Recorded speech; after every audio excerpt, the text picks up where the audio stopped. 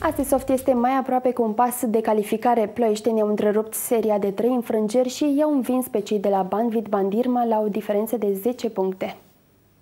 Elevii lui Arnautovici sunt aproape calificați în top 32 din Eurocup după victoria de aseară din sala Olimpia. Ploieștenii au început bine meciul încă din primul sfert pe care l-au terminat cu un avantaj de 5 puncte în fața turcilor. Sfertul 2 a fost unul impresionant pentru suporterii din tribune. Capăr a finalizat spectaculos două atacuri ale prahovenilor, iar Runcausc așa a avut o precizie de necrezut. Patru aruncări de la mare distanță reușite din tot atâtea încercări. Brown nu s-a lăsat mai prejos, iar CSU a bifat a patra victorie din această fază a competiției. Ploieștenii mai au de disputat două meciuri cu cei de la Hapoel Ierusalim și Partizan Belgrad.